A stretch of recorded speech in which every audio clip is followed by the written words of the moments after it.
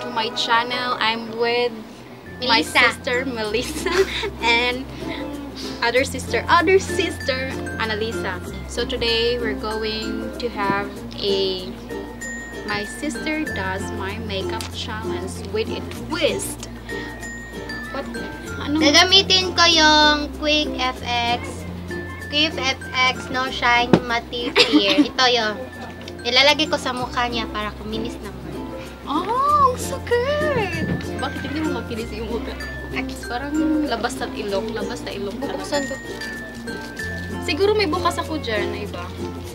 So, ginamit niya yung Quick FX. Bakit yan ang gusto mo? Anong meron dyan na... Hindi ko lang kasi ito yung nakita ko. Eh, ito yung So, Gagamitin ako, gagamitin ko yung BB Holic Everyday BB Cream. So, ito yung ginagamit ni ate araw-araw pag pumupunta siya sa trabaho. Ipapakita Ay, mo na sa kanila kung anong... So, ano to? yung...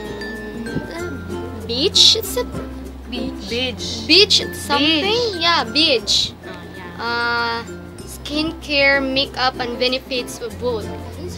So, it, it was just a skincare and makeup. So, marami pala siyang ano. Oh my goodness. So, si Melissa dito na side, tapos si Annalisa dyan na side. Let's see how it goes later around. Guys, pasensya pero hindi ako fluent mag-English. So, yeah, sana maintindihan niyo naman ako. Hindi ko alam pero yeah, ganito yung tsura ko guys. Tingnan natin, ha? Magsalita naman kayo. Ano yung nangyayari? Anong ginagawa niyo sa mukha ko? Ayaw! Oh, See? Parang ano sila? Ano tinatakpan niyo sa mukha ko? yung mga... Bakit gumagamit ka lang ng ganyan? Gusto mo lang. Gusto lang niya. Bawal mag-brush, di ba? Ah, okay. Hindi naman yan brush eh. So, yeah. Gumagamit silang ng sponge. Sponge. sponge. Asa to gigamit ni an auntie kanina? Asa to te? Yung beach. Nasa kanya siguro. Nani mo? Diyan. So, tinatakpan niya na Lisa yung mga dapat takpan sa mukha.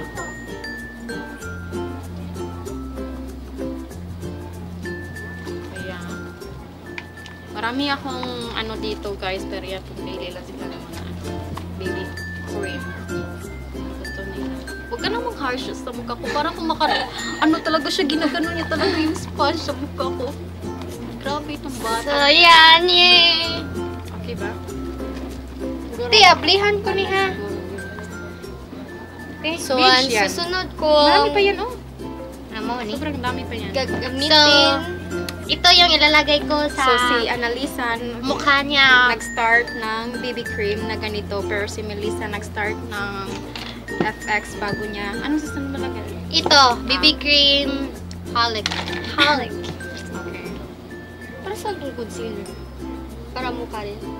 I do not know. So, ito yung gagamitin ko. May laman So, pa yan.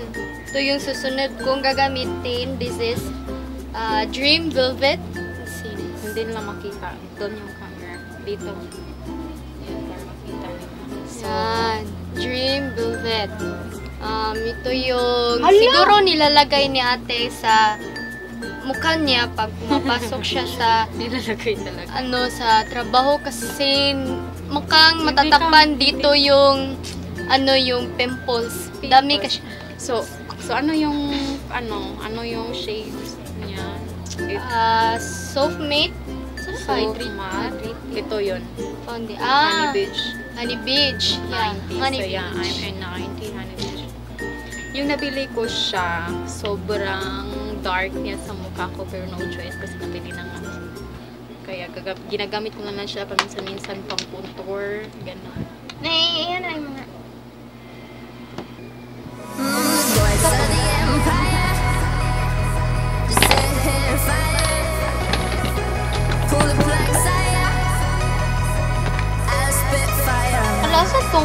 Just Guys, my desire. Pull the plug, sire, and I'll spit fire.